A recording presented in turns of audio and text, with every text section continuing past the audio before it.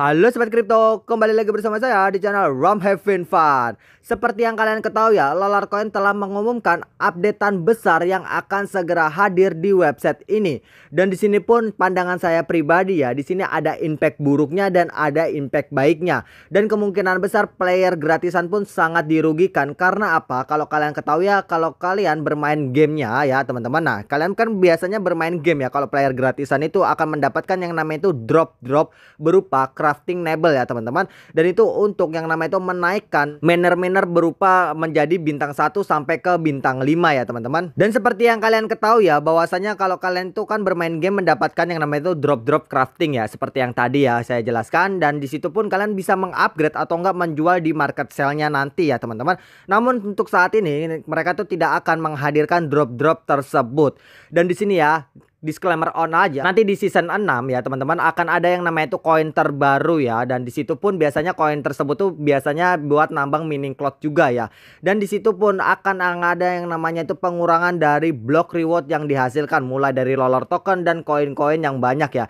Di sini menurut saya pribadi lolar coin membutuhkan dana segar untuk mengembangkan project yang mereka miliki. Jadi kita bahas apa saja yang ada di website lolar coin ketika nanti season 6 akan hadir ya teman-teman. Dan di sini pun pemberitahuan pemberitahuannya adalah si dev uh, dari Diaris. Ya teman-teman ini adalah vote 1 untuk di-upgrade ke metagame menjadi 2.0 ya teman-teman. Dan di sini pun ya banyak yang harus kalian ketahui dan membaca detail agar kalian tuh mengerti tentang investasi terhadap situs website Lollercoin saat ini ya teman-teman. Dan di sini pun saya pribadi pun sangat kewalahan untuk menyeimbangkan melakukan reinvest ataupun pembalikan modal terhadap situs website ini ya teman-teman.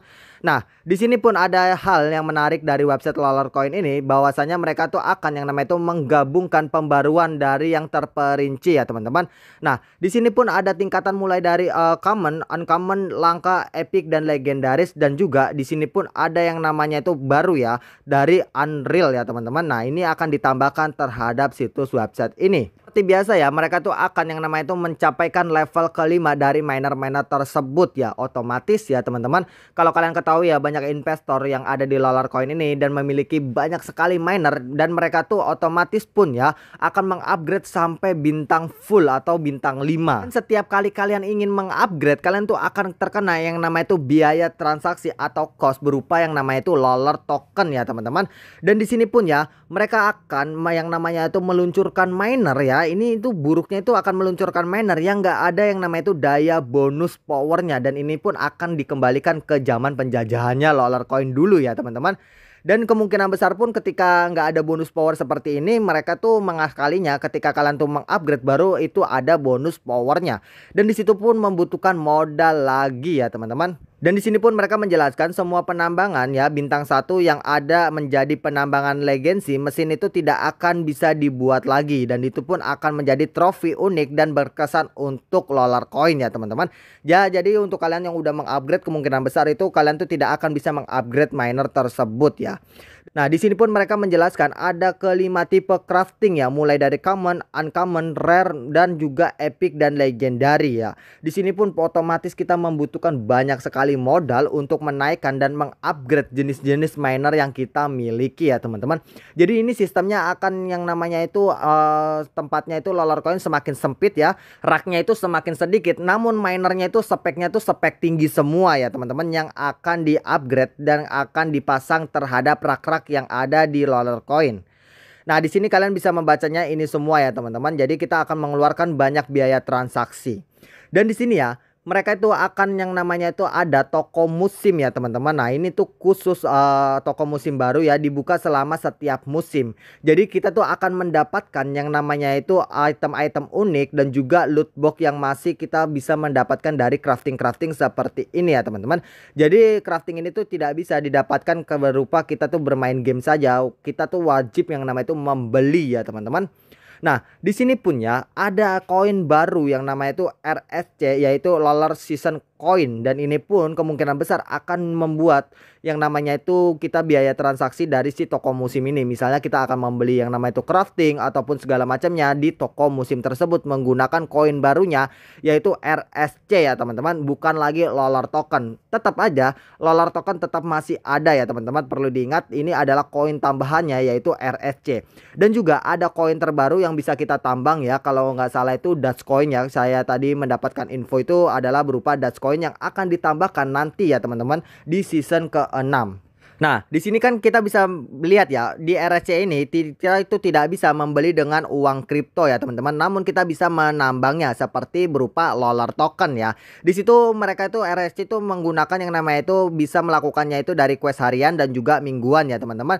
Dan e, sama seperti koin yang lainnya digunakan untuk membeli suku cadang yang ada di toko shop musiman season nanti ya, teman-teman. Nah, di sini ada yang berupa yang terbatas, ada yang berupa skin yang bertema dan juga kotak dari si kontes seni penambang ya. Misalnya loot box ya teman-teman. Kalian tuh bisa menggunakan dari RSC tersebut. Dan di sini ya tugas hariannya dan mingguannya ada cara baru untuk mendapatkan hadiah ya teman-teman.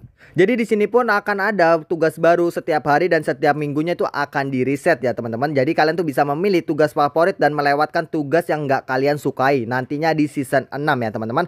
Tugas-tugas ini akan ditetapkan dalam permainan secara permanen ya sehingga Anda pemain ya dapat menyelesaikan untuk mendapatkan hadiah bahkan di luar musim ya teman-teman. Mungkin ini akan ada hadiah-hadiah ketika kita mendapatkan yang namanya itu task ataupun misi setiap seasonnya ya teman-teman. Jadi kita tuh bisa mendapatkan reward tambahannya. Enaknya seperti itu.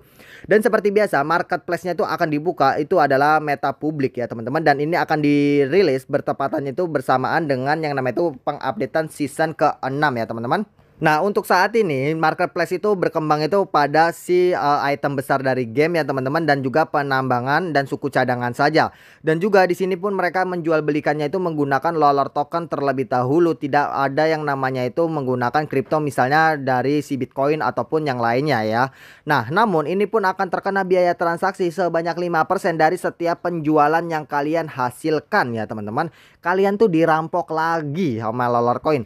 Dan otomatis kalian tuh akan mendapatkan biaya komisi referral kalian mendapatkan itu berupa satu persen saja ya teman-teman itu cukuplah sangat sedikit. Dan di sini ada pembaruan ekonomi tentang globalnya Lolar Coin dan di sini pun mereka percaya bahwasanya rilisnya dari marketplace ini akan membawa hal baik ya teman-teman mulai dari pembaruan dari kerajinan, pengubah pemain menjadi lengkap untuk ekonomi Lolar Coin di setiap pemainannya ya teman-teman. Di sini pun ya ada keterangannya bahwasanya kita bisa lebih cepat untuk mendapatkan atau meningkat mendapatkan lolar token kita ya, pendapatan lolar token ya. Di sini pun kalian bisa menyelesaikan misi harian dan juga mingguan. Dan juga kalian juga bisa mendapatkan uh, suku cadang yang banyak ketika kalian tuh mengerjakan misi yang ada di website lolar coin ini ya, teman-teman. Nah, di sini ada impact terburuknya bahwasanya kalian tuh kan pada dasarnya saya menjelaskan bahwasanya kalau kalian tuh pengen enak kalian tuh menambang lolar token. Namun nanti di season 6 kalian tuh nggak usah menambang yang namanya itu lolar token ya teman-teman. Nah di sini pun mereka tuh mengalihkan atau bisa dibilang lolar coin itu terpaku kepada si lolar token ini bahwasanya banyak orang yang melakukan penambangan terhadap situs websitenya itu menggunakan lolar token ya teman-teman. Jadi bisa dibilang tuh banyak orang melakukan reinvest ya. Jadi nggak ada dana segar untuk masuk untuk melakukan deposit.